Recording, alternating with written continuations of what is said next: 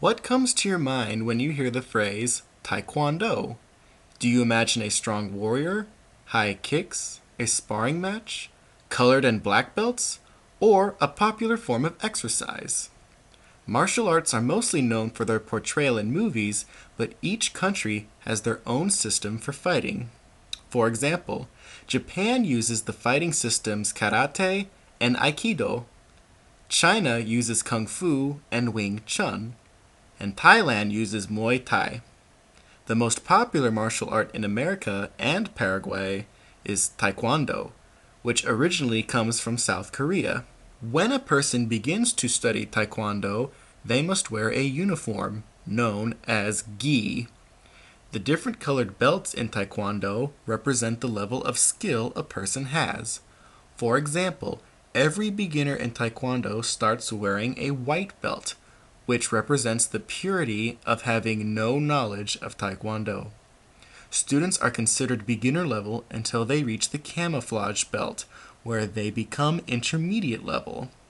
Students stay at the intermediate level until they earn their brown belt, where then they are considered advanced level. Students will remain at the advanced level until they become a black belt, where they then reach expert level. In order for students to move ahead in their rank, they must perform a set of moves.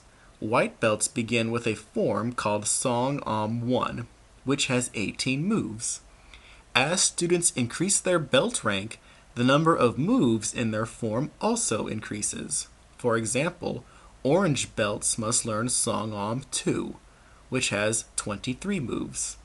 Students must also begin to spar in addition to learning forms once they earn their camouflage belt. In order to go from intermediate to advanced, students need to also learn board breaking techniques in addition to their forms and sparring. Learning Taekwondo does not mean you are training yourself to become the most powerful fighter on earth. Students of Taekwondo may pursue competitions where they have to spar, but there are many who study Taekwondo for the exercise, the community, or to just have fun. Whether you want to become a world champion or simply enjoy exercise with your whole family, Taekwondo is a martial arts system that can teach you about yourself and improve the quality of your life.